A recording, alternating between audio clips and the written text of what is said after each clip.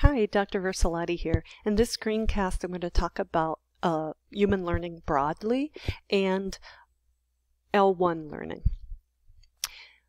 Now, generally, most broadly speaking, we can split learning perspectives or pr approaches into three broad camps behaviorists, cognitive, and social, social constructivists, also known as sociocultural. Now, um, behaviorists models are um, have been found to be a little too simplistic for human learning.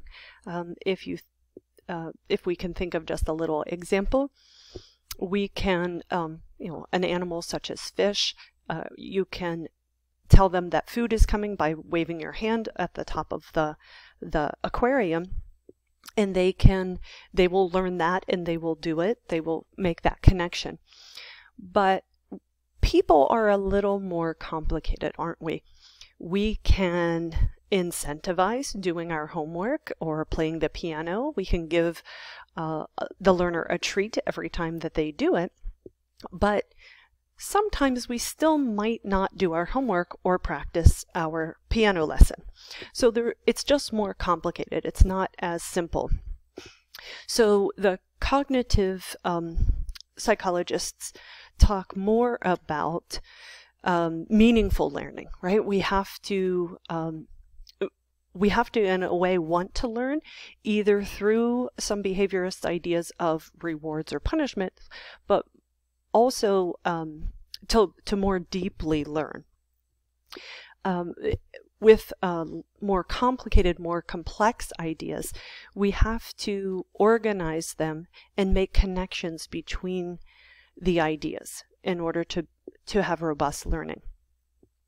And an, an analogy I like to use is with the um, a clothes closet. So if every idea that you learn in graduate school or wherever is is represented by a, a piece of clothing, and some pieces are smaller, some pieces are larger, but if we just learn them as individual facts, it's like storing them in the closet by opening the door and throwing it in. And yes, you can open the door and retrieve that fact, but it it's as you learn more facts, finding that one individual piece of clothing or that fact that you want will become more and more difficult.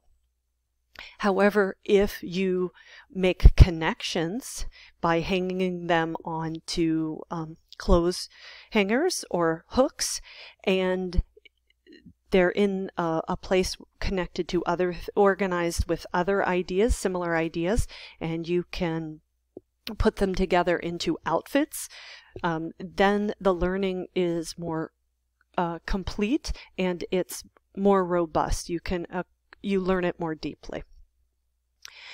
But of course, um, we also forget things, and uh, cognitive psychology explains this with the idea of pruning, where clearing unnecessary branches uh, frees up energy for growth in other areas. So some things we might forget, like I, I don't remember um, all of my phone numbers.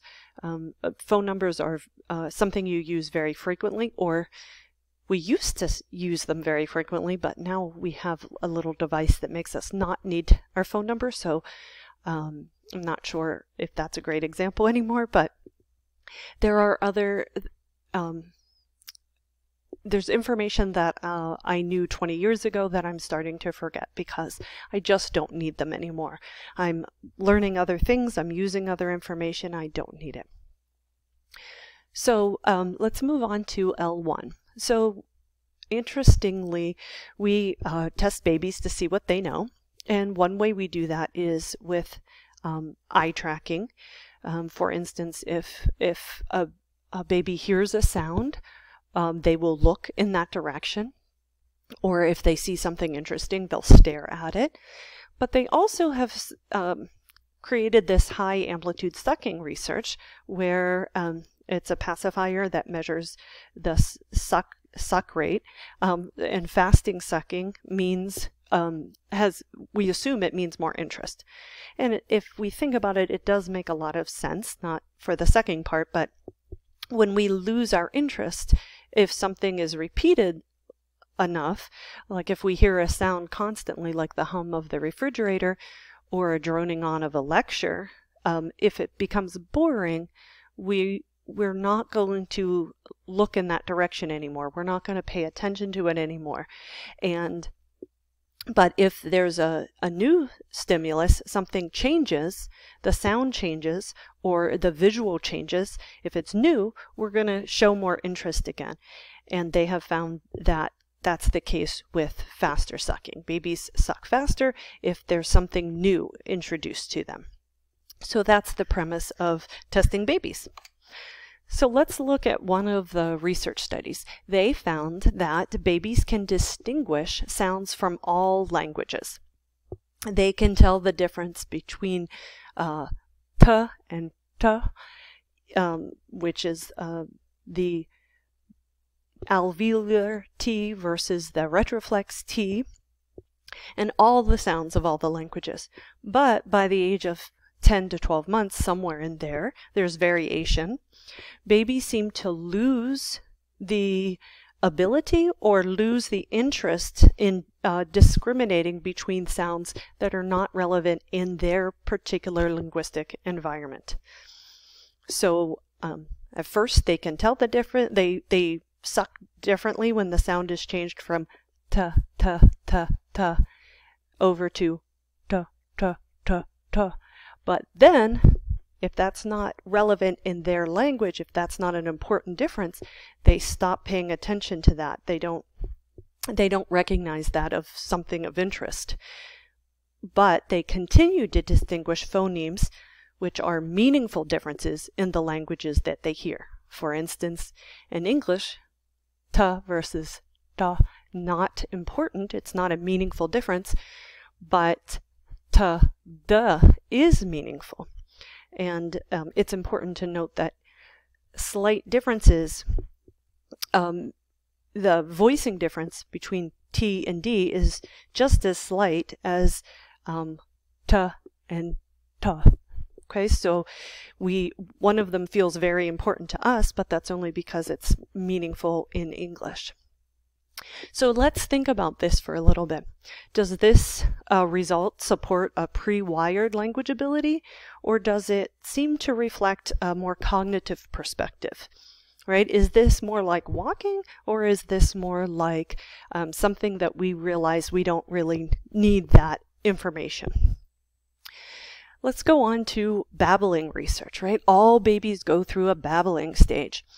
And bilabial sounds, sounds made with the lips, p, b, m, m, are the easiest, earliest produced. Now, uh, lips are the easiest part of the mouth to manipulate, right? Even babies can open and close their lips.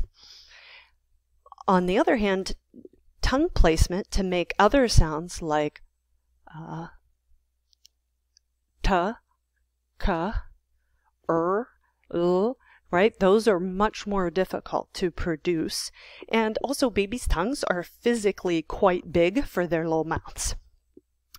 So, um, although there is a universal babbling pattern, I would say that this is rooted in the physical constraints of our anatomy rather than a pre wired language ability.